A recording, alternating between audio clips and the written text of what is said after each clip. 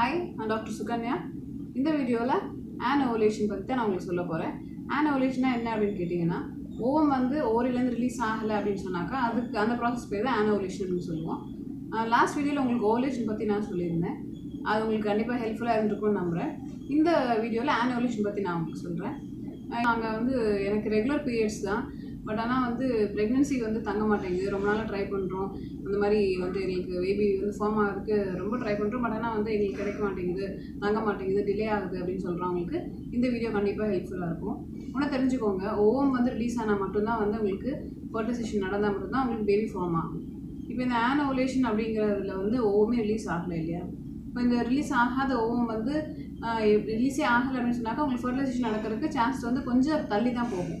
But அதுக்கான ட்ரீட்மெண்ட்லாம் இருக்குது நார்மலாக ஒன்று தெரிஞ்சுக்கோங்க. Eighteen to twenty percentage of the regular சைக்கிள்ஸாக இருந்தால் கூட ரெகுலர் பீரியட்ஸாக இருந்தீங்கன்னா கூட அது ஆனோவலட்ரி சைக்கிள்ஸ் தான் அப்படின்னு சொல்லி ரிசர்ச்சர்ஸ் கண்டுபிடிச்சிருக்காங்க இப்போ வந்து ஓவம் ரிலீஸ் ஆகாமல் பீரியட்ஸ் மட்டும் வருமா டாக்டர் அப்படின்னு கேட்டிங்க அப்படின்னு சொன்னால் கண்டிப்பாக வரும். அதுக்கு கொஞ்சம் நார்மல் ஃபிசியாலஜி கொஞ்சம் தெரிஞ்சுக்கோங்க. என்னன்னு பார்த்தீங்கன்னு சொன்னாக்கா ஓவலேஷனுக்கு முன்னாடி ஈஸ்ட்ரோஜன் இல்லைனா எல்ஹெச் அப்படின்னு சொல்லி லூட்னைசிங் ஹார்மோன் அப்படிங்கிற ஹார்மோன்லாம் ஜாஸ்தியாக இருக்கும். லூட்னைசிங் ஹார்மோன் எல்ஹெச் சர்ஜ் வந்தால் தான் உங்களுக்கு ஓவலேஷன் நடக்கும். ஓவலேஷன் நடந்த பிற்பாடு அதாவது ஓவம் வந்து வெளியே வந்ததுக்கப்புறம் பார்த்தீங்கன்னா ப்ரொஜெஸ்ட்ரோன்ற ஹார்மோன் ரிலீஸ் ஆகிடும் அந்த ஹார்மோன் யூஸ்வலாக வந்து எண்டோமெட்ரியமுக்கு போய் அந்த யூட்ரஸில் எண்டோமெட்ரியம் அப்படின்னு சொல்கிற இன்னர் லைனிங் அதை உட்சுவர்னு சொல்லுவோம். அது உள்ளே போய் நல்லா அது ஒரு பேபி ஃபார்ம் ஆச்சுன்னு சொன்னாக்கா இன்கேஸ் இந்த ஓம் ஃபர்டிலைஸ் ஆச்சுன்னு சொன்னால் அந்த எண்டோமெட்ரியமில் போய் இம்பெட் ஆகிறதுக்கு இம்ப்ளான்ட் ஆகிறதுக்கு அந்த யூட்ரஸை தயாராக வச்சுருக்கோம் இந்த ப்ரொஜெஸ்ட்ரோன்ற ஹார்மோன் இப்போ ஆனோலேஷன் அப்படின்றதுல என்ன ஆகும் அப்படின்னு பார்த்தீங்கன்னா ஆனோலேஷனில் வந்து ஓமே ரிலீஸ் ஆகலை. ஸோ அப்போ ஓமே ரிலீஸ் ஆகலை அப்படின்னு சொன்னாக்கா உங்களுக்கு ப்ரொஜெஸ்ட்ரோன்ற ஹார்மோன் வராது. பட் ஆனால் வந்து உங்களுக்கு ஈஸ்ட்ரோஜன்ற ஹார்மோன் அது பாட்டுக்கு அது வேலையை செஞ்சுக்கிட்டு தான் இருக்கும். அதோட influence under the influence of estrogen உங்களுக்கு என்ன ஆகும்னு சொன்னீங்கன்னா அந்த எண்டோமெட்ரியல் திக்னஸ் ஜாஸ்தி ஆகிட்டு தான் இருக்கும். ஒரு லேட்டரான ஸ்டேஜஸில் உங்களுக்கு அது பீரியட்ஸாக வந்துடும் ஸோ உங்களுக்கு பீரியட்ஸ் வந்தாலும் கூட ஓவம் ரிலீஸ் ஆகாமல் கூட இருக்கலாம். ஸோ இதுக்கு பேர் தான் ஆன் ஓவலேட்டரி சைக்கிள்ஸ் அப்படின்னு சொல்லுவோம். இப்போது இப்போ எல்லா சைக்கிள்ஸுமே வந்து ஆன் ஓவலேட்டரியாக இருக்குமா அப்படின்னு கேட்டிங்கன்னா அப்படி கிடையாது. யூஸ்வலாக வந்து ஒரு ஆன் சைக்கிள் வந்துச்சுன்னு சொன்னாக்கா நெக்ஸ்ட் மந்த்தே கூட அடுத்த ஓவலேஷன் நடக்கலாம். இல்லை ஒரு சில பேருக்கு வந்து கொஞ்சம் மந்த்ஸ் தாண்டி நடக்கலாம். ரெண்டு மாதம் கழிச்சு இல்லை ஒரு சில பேருக்கு ஆறு மாதம் கழிச்சு. இல்லை ஒரு சில பேருக்கு பார்த்தீங்கன்னு சொன்னாக்கா வருஷக்கணக்காக கூட ஆன் சைக்கிள்ஸாகவே இருந்துட்டு இருக்கலாம். ஸோ அந்த time interval between anovulation and ovulation சொல்லி வந்து நமக்கு அது எப்போ அப்படிங்கிறது நம்மளால் டிசைட் பண்ணவே முடியாது. இந்த ஆனோவலேட்டரி சைக்கிள்ஸில் வர ப்ளீடிங்க்கு பேர் நார்மலாகவே ட்ரூ பீரியட்ஸ் கிடையாது. இதுக்கு பேர் என்ன சொல்லுவோம் அப்படின்னு சொன்னீங்கன்னா வித்ட்ராயல் ப்ளீடிங் அப்படின்னு சொல்லுவோம். இல்லைனா பிரேக் த்ரூ ப்ளீடிங் அப்படின்னு சொல்லுவோம். இல்லைனா ஃபால்ஸ் பீரியட்ஸ் அப்படின்னு கூட வச்சுக்கலாம். ஏன்னா நார்மலாக வந்து ஓம் ரிலீஸ் ஆகி அதுக்கப்புறம் வர பீரியட்ஸுக்கு பேர் தான் வந்து நம்ம நார்மல் பீரியட்ஸ் ரெகுலர் பீரியட்ஸ் அப்படின்னு எடுத்துக்கலாம். இது வந்து ஓமே ரிலீஸ் ஆகாமல் வர பீரியட்ஸ் வந்து நார்மலாக ஒரு வித்ட்ராயல் ப்ளீடிங் தானே தவிர மற்றபடி it's not a true period okay இப்போ ஆனோவலேட்டரி சைக்கிள்ஸ்க்கு இந்த ஆனோவலேஷனுக்கு என்னென்ன ரீசன்ஸ் அப்படின்னு பார்த்தீங்கன்னு சொன்னாக்கா நார்மலாக வந்து ஹார்மோனல் இம்பேலன்ஸ் தான். இந்த ஈஸ்ட்ரோஜன் ப்ரொஜெஸ்ட்ரான்லாம் வந்து ஒரு இம்பேலன்ஸ்டாக இருக்குது நம்ம உடம்புல அப்படின்னு சொன்னாலே வந்து இந்த மாதிரி ஆனோவலேஷன் நடக்க தான் செய்யும். இதில் மெயினான ரீசன் என்னென்னு பார்த்தீங்கன்னா பிசிஓஎஸ் அப்படின்னு சொல்லுவோம். அந்த பிசிஓஎஸ் அப்படின்றதுல வந்து பாலிசிஸ்டிக் ஓவேரியன் சின்ட்ரோம் அப்படின்னு சொல்லுவோம். இதில் என்னென்னு பார்த்தீங்கன்னா பாலிசிஸ்டிக் அப்படின்னு அந்த பேர்லேயே இருக்குது பார்த்தீங்களா ஸோ அதில் நிறைய ஃபாலிக்கிள்ஸ் இருக்கும். பட் எல்லாமே சின்ன சின்னதாக எல்லாம் குட்டி குட்டியாக தான் இருக்கும். ஒன்று கூட மெச்சூர் ஆகாது. இது எப்படி உங்களுக்கு புரிய வைக்கணும் அப்படின்னு பார்த்தீங்கன்னா நிறைய ஃப்ரெண்ட்ஸ் இருக்காங்க. ஏதாவது ஒரு ஹெல்ப் வேணும்னு சொன்னாக்க யாராவது ஒருத்தவங்களாவது வரணும்ல.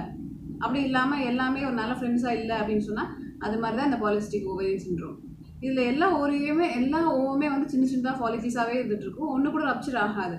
அட்லீஸ்ட் மந்த் பர் மந்த் வந்து ஒரு ஓம் ரிலீஸ் ஆனால் மட்டும்தான் வந்து உங்களுக்கு ஃபர்டிலைசேஷனுக்கான சான்ஸ் இருக்குது ஸோ அந்த ஒரு பெரிய ஒரு பெரிய டாமினன்ட் ஃபாலிக்கல் வந்து ரப்ச்சர் ஆனால் தான் ஓம் ரிலீஸ் ஆகும். பட் இந்த பாலிஸ்டிக் ஓரியன் பிசிஓஎஸில் வந்து உங்களுக்கு வந்து எல்லாமே சின்னதாக இருக்கும். ஒன்று கூட ரப்ச்சர் ஆகாது ஒன்று கூட பெருசாகாது ஒன்றுமே மெச்சூர் ஆகாது. ஸோ அதுக்கான ட்ரீட்மெண்ட்ஸ் நீங்கள் எடுத்து தான் ஆகணும்.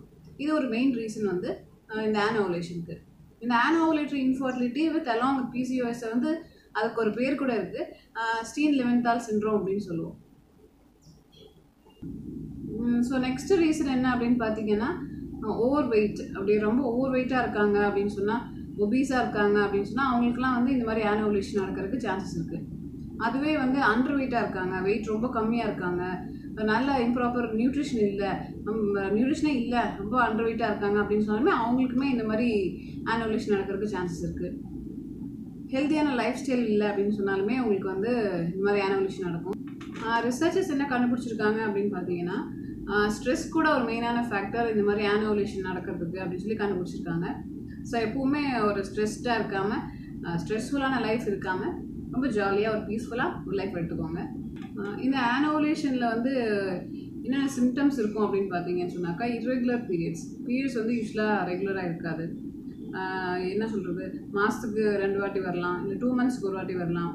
லாங் கேப் இருக்கும் பீரியட்ஸுக்கு ஒரு சமயம் வந்து மெனரேஜியா அப்படின்னு சொல்லுவோம். மெனரேஜியா அப்படிங்கிற டேர்ம் வந்து மெடிக்கல் டேர்ம் அது வந்து எப்படி நம்ம எப்படி உங்களுக்கு புரியணும் அப்படின்னு சொன்னால் செவன் டேஸ்க்கு மேலே பீரியட்ஸ் ஜாஸ்தியாக இருக்குது அப்படின்னு சொன்னாலே அது மெனரேஜியா அப்படின்னு தான் எடுத்தாகணும். இந்த மாதிரி பீரியட்ஸ்லாம் இருக்குது இரெகுலர் பீரியட்ஸ் அப்படி இருக்குன்னு சொன்னாலே உங்கள் சைக்கிள் வந்து ஒரு வேளை ஆனுவலிட்டியாக இருக்கலாமோ அப்படின்னு சொல்லி நீங்கள் டவுட் பண்ணிக்கலாம். அப்புறம் ஒரு சில பீரியட்ஸே வராது. அப்படி இருந்தாலுமே அது ஆனுவலேஷனாக கூட அது ஆனுவலேஷனாக கூட இருக்கலாம்.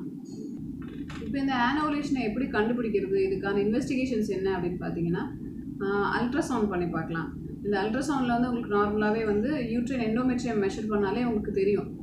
அதாவது இது வந்து நார்மலான பீரியட்ஸா இல்லை ஆனோவலேட்ரி பீரியட்ஸா அப்படிங்கிறது கண்டுபிடிக்க முடியும். அதுவும் இல்லாமல் ஃபாலிகுலர் ஸ்டடி அதுக்கு போகலாம் ஃபாலிகுலர் ஸ்டடி பண்ணும்போது அதில் உங்களுக்கு தெரியும் எந்த ஃபாலிகுல்ஸ் வந்து எப்போ வந்து உங்களுக்கு ரப்ச்சர் ஆகும் அப்படின்னு சொல்லி உங்களுக்கு டாக்டர் சொல்லுவோம். அப்படி சொல்லும்போது உங்களுக்கு நார்மலாக எப்போ நீங்கள் காண்டாக்டில் இருக்கலாம் எப்போ நீங்கள் ப்ரெக்னன்சி ட்ரை பண்ணலாம் அப்படிங்கிறதெல்லாம் அவங்க ஃபாலிகுலர் ஸ்டடியில் கண்டிப்பாக அவங்களால ட்ரை பண்ண முடியும். செகண்ட் திங் என்னென்னா டேப்லெட்ஸ்லாம் இருக்குது இந்த ஆனோலேஷனுக்கு இந்த டேப்லெட்ஸ்லாம் வந்து ஓலேஷனை போய் இன்டியூஸ் பண்ணும். For example Clomid letrozole and கொனோட்ராஃபின்ஸ்லாம் இருக்குது அந்த டேப்லெட்ஸ்லாம் போடும்போது உங்களுக்கு என்ன ஆகும் அப்படின்னு பார்த்தீங்கன்னா அந்த ஓலேஷன் ஓ ஓரிலேருந்து இருக்கிற ஓமை வெளியில் கொண்டு வரது தான் இந்த டேப்லெட்ஸ்லாம் ஹெல்ப்ஃபுல்லாக இருக்குது இது எப்படி டாக்டர் ஹெல்ப்ஃபுல்லாக இருக்கும் அப்படின்னு பார்த்தீங்கன்னா ஒரு டேப்லெட் சாப்பிட்ட உடனே என்ன ஆகும்னா பிளட் ஸ்ட்ரீமில் போய் கலந்து நம்ம உடம்புல பிட்யூட்ரிங்கிற ஹார்மோன் பிட்யூட்ரிங்கிற கிளாண்ட் இருக்குது சாரி கிளாண்ட் இருக்குது அந்த கிளாண்ட்லேருந்து எஃப்எஸ்ஹெச் அப்படின்னு சொல்லி ஃபாலிகுலர் ஸ்டிமுலேட்டிங் ஹார்மோன் அப்படிங்கிற ஹார்மோனை இந்த டேப்லெட்ஸ் வந்து ட்ரிகர் பண்ணி விட்டுரும். இப்போ இந்த எஃப்எஸ்ஹெச் வந்து ஜாஸ்தி ஆக ஆக உங்களுக்கு ஓவரியில் ஃபாலிகல்ஸ் ஜாஸ்தி ஆகும். ஃபாலிகல்ஸ் ஜாஸ்தி ஆகும்போது ஓவமே ரிலீஸ் ஆகாத இருக்கிற ஓவரி வந்து நார்மலாகவே ஓவம் ரிலீஸ் பண்ணும். ஸோ இந்த டேப்லெட்ஸ் எல்லாமே கண்டிப்பாக ஹெல்ப்ஃபுல்லாக இருக்கும். அதுவும் இல்லாமல் ஹெச்சிஜி இன்ஜெக்ஷன்ஸ் இருக்குது அந்த ஹெச்சிஜி இன்ஜெக்ஷன்ஸ்லாம் போடும்போது உங்களுக்கு அந்த ஆனோலிட்டி சைக்கிள்ஸை வந்து ஓவலிட்டி சைக்கிள்ஸாக மாற்ற முடியும். லாஸ்ட்டாக ஒன்று சொல்கிறேன் என்னென்னா நான் டேப்லெட்லாம் சாப்பிட்றேன் டாக்டர் ட்ரீட்மெண்ட்டில் தான் இருக்கேன். எனக்கு இன்னும் ப்ரெக்னென்சி கன்ஃபார்ம் ஆகலை ரொம்ப லேட் ஆகுது அப்படின்லாம் சொல்கிறாங்க பட் தெரிஞ்சுக்கோங்க யூஸ்வலாக டேப்லெட்லாம் சாப்பிட்டாலுமே ஓவலேஷன் நடக்கிறதுக்கு ஃபைவ் டு டென் டேஸ் ஆகும். பட் இது மட்டும் இல்லை பட் நார்மலாகவே எதுனாலுமே எந்த ஒரு நல்ல விஷயம் நடக்கிறனாலுமே it will take time so அதனால் நீங்கள் கண்டிப்பாக வெயிட் பண்ணுங்கள் உங்களுக்கு ஆனவலிட்டி சைட்டிஸ்னு கண்டுபிடிச்சிட்டிங்க அப்படின்னு சொன்னாக்கா டாக்டரை போய் பாருங்கள் அவங்க என்ன ப்ரிஸ்கிரைப் பண்ணுறாங்களோ அவங்க என்ன ட்ரீட்மெண்ட் உங்களுக்கு சஜஸ்ட் பண்ணுறாங்களோ அதை கண்டிப்பாக ஃபாலோ பண்ணி வச்சுக்கோங்க. கண்டிப்பாக உங்களுக்கு ஹெல்த்தியான பேபி கிடைக்கும். இந்த வீடியோ உங்களுக்கு கண்டிப்பாக ஹெல்ப்ஃபுல்லாக இருக்கும்னு நினைக்கிறேன். ஏதாவது டவுட்ஸ் இருந்துச்சுன்னா கமெண்ட் செக்ஷனில் நீங்கள் சொல்லுங்கள் நான் உங்களுக்கு ஆன்சர் பண்ணுறேன் ஓகே ஃப்ரெண்ட்ஸ் நான் உங்களுக்கு இந்த வீடியோ ஹெல்ப்ஃபுல்லாக கொடுத்துருக்கேன்னு நினைக்கிறேன். அடுத்த வீடியோவில் கண்டிப்பாக நான் உங்களை பார்க்குறேன். Until தென் டேக் கேர் உங்களை பார்த்துக்கோங்க. Be safe this doctor Sukanya signing off bye